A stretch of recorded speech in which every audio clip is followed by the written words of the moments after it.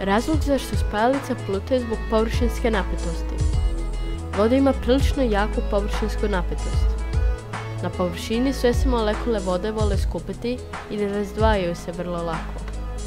Zbog toga kad god ošamariš kantu vode, osjećaš se kao da se nešto bori natrag.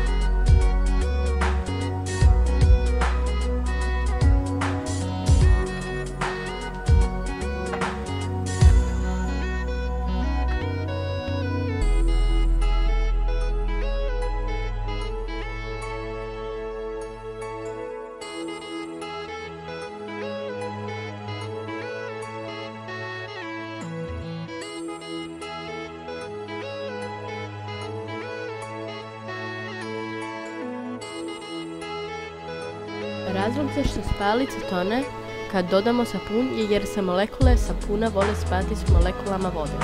A tu znači da se voda više ne može spati s ostalim molekulama vode i ne može držati površinsku napetost.